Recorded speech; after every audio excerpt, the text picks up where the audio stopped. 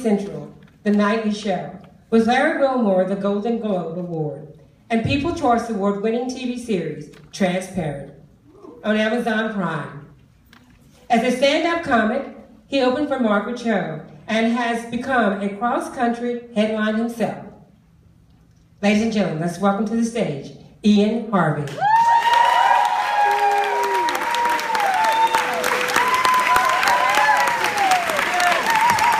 Hi, everybody. Happy Pride. Happy Trans Pride. How amazing is that? This is my first Trans Pride in LA. I'm always in Maine this time of year, and I happen to be here this year, and thank you for having me. It's what a great fucking celebration. Um, so, yeah, I'm trans. You guys are like, no shit. Uh, this is such a nice audience because I don't have to explain a lot of shit. Usually, when I say I'm trans in a regular comedy club, everybody's eyes just drop to this part of my body down here, and everybody tries to figure out what the fuck's going on. And uh, people get confused. They're like, I don't. So, what do you do? You do you do you, do you, do you have a dick? Do you? I don't understand. Do you do you, do, do you have a dick? And I'm like, yeah. It's just not on me right now. It's back at the house. Uh, I'm a lazy packer, is what I'm saying. I am. I'm a super lazy packer. I just I can't be bothered. I don't know. It's weird. Like you know what? Sometimes I do. Like last minute, if I think I'm going to an event or something, and I feel like you know I might throw a fucking sock in there. You know, like feeling sporty, throw a tube sock in there. Heading back to Maine, it's gonna be cold. Throw a fucking wool sock in there. You know.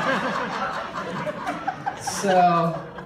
I love people that just get so curious. People after shows, if you do stuff like this, they'll- people say the weirdest, most like bla- br- just brazen shit to you after shows. Some girl came up to me after a show and she was like, "Oh my god, you're so hot. You're like Brad Pitt with a vagina." I'm like, "Oh my god, that is awesome. I'm like the real fucking Brangelina. That's fucking great. I love that. I love it." I feel bad for guys that have their own dick attached. Now, hear me out. I do. I feel bad. If you were a guy in the audience, have your own dick attached, and I want to. I just want to say I feel bad for you because, oh, I, people say is it hard to be trans, and it, because they think because of the whole like me not having a dick, that's the problem. Like, no, I think it's fucking great. It's fucking great because basically, I want to say when I got together, when you get together with someone that has their own dick attached, basically you get what you get. You know what I'm saying? It's kind of a grab bag out there. But if you go out with me, we'll get you what you want.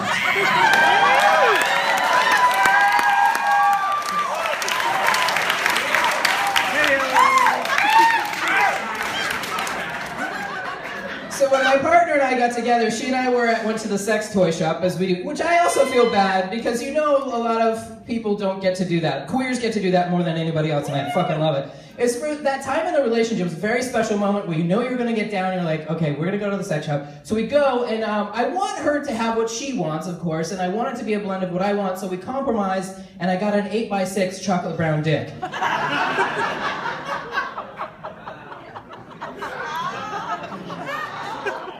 That's right. I uh, I named it. I named it Gung Gung. After that sound on Law and Order.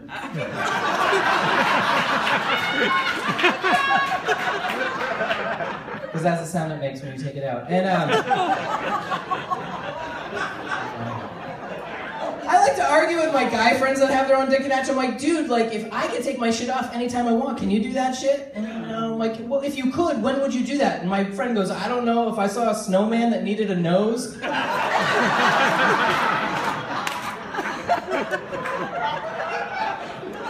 You take that shit off and throw it in the dishwasher like I can? No. Turn it to cocks and pans, I got a heavy load.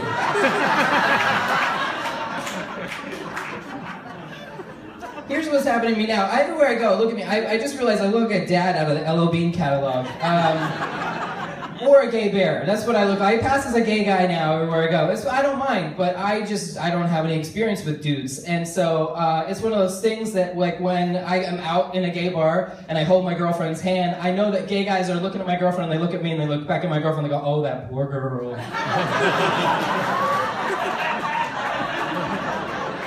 he is gonna break her heart. And I'm gonna help. Yeah, I know.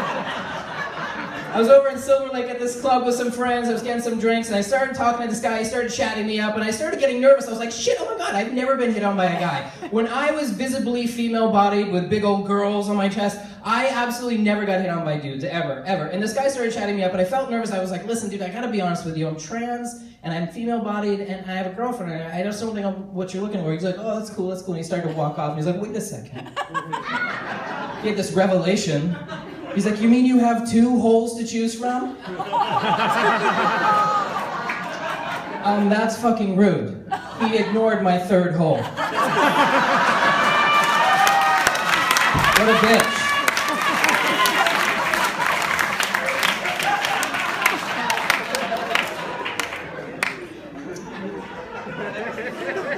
I don't know what to do with guys. I don't even know what to do. Here's the closest thing I ever ever giving a blowjob in my whole. I was 16. I was drunk in Maine on a wood road party. That just says it all. Okay. And I was wasted, and my neighbor was like that teenage, kind of 17, 16, somewhere in there. And my neighbor, his let's just call him John Neff, because that was his fucking name. And um, and I was wasted, sitting on this giant log, and he came over, he was wasted, and he pulled his dick out of his and says, "Come on, suck it." And I was like, "Oh, get away!" I don't know, I don't know, I didn't know what to do, so I just like batted away, tried to get him away. And finally, this is as close as I ever have come to giving a blowjob. Basically, I used it as a handrail to get the fuck out of there. That's what I did.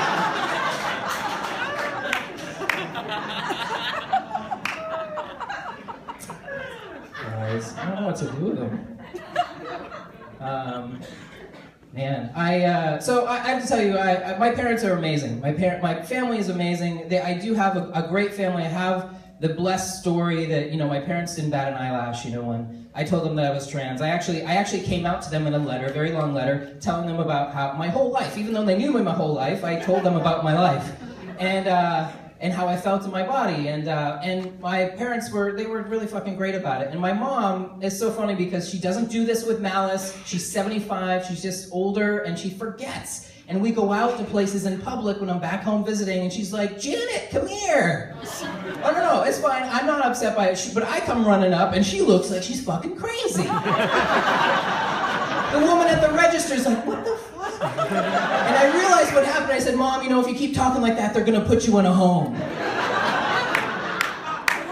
So she does better. She does better. But here's what's worse is my grandmother, who is 98, lives with my parents and she has full-on dementia. Total full-on Alzheimer's. And I come home and my mother is prepping my grandmother over and over and over again that Janet's coming home for visit. Janet's gonna be here. And I walk in and she's like, who are you? And my mom goes, that's Janet. And I know my grandmother's like, I'm not the fucking crazy one here. That's not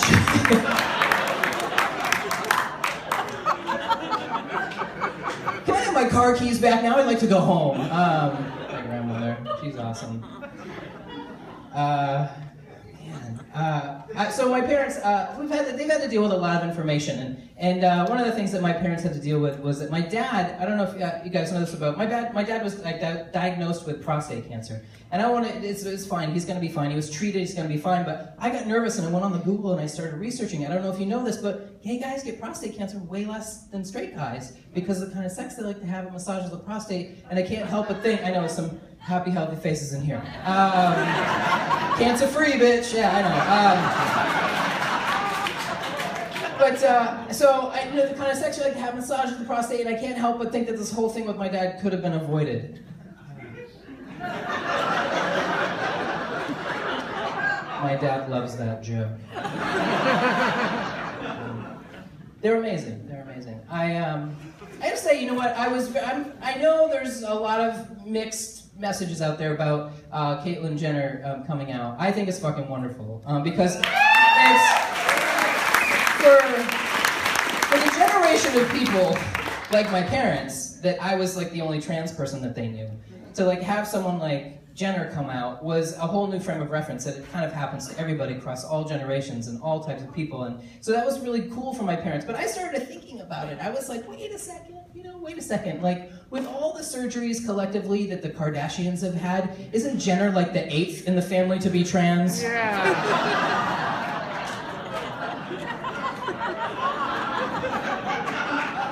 So, um, eh, you know, actually, you know what? I, I, uh, I, I, um, I love being trans. I am. All, I'm very proud. I was watching the video, and I, when people were saying that they they loved it or it was a struggle, and I you know I want to say that I love being trans, but there's still a couple places in my life where I still get a little schmarmy, uncomfortable, and like the men's room is one of them.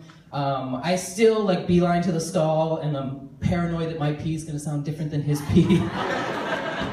Shit, I'm like, can you fucking tell? I don't know. I'm, Like, I'm so worried. I just like I rock back and forth, going, I've got a secret. And you know what? I'm so glad that testosterone made my menstrual cycle go away because can you imagine me in the men's room having to change up my shit, crinkling and crackling in the stall next to you? Can you imagine that shit? Crinkling and crackling? The dude next to you's like, what's that over there, man? It's just a baby Ruth, man. Just a baby Ruth.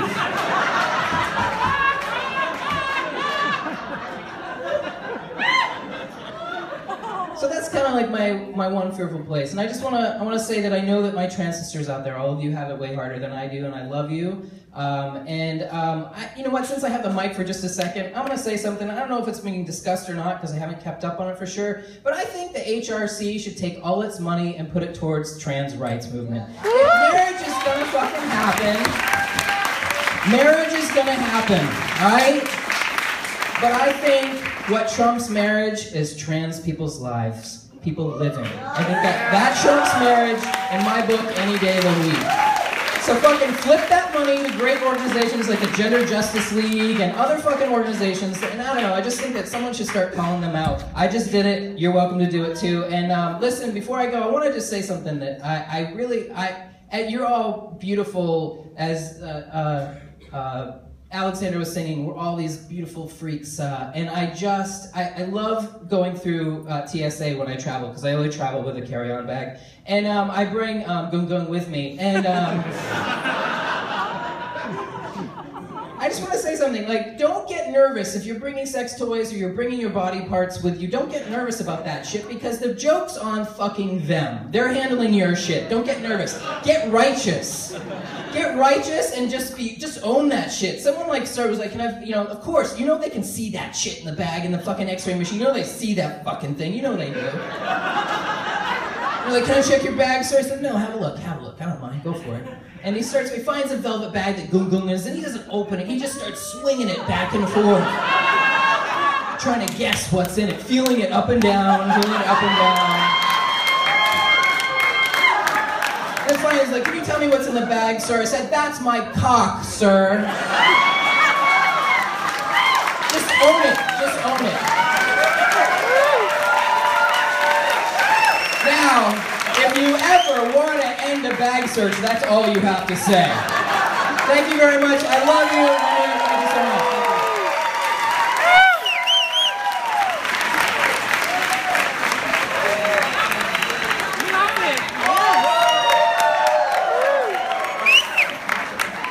And they are worried about what I was going to say, okay? Give it, why don't you give another hand, guys, for, us? was he not wonderful?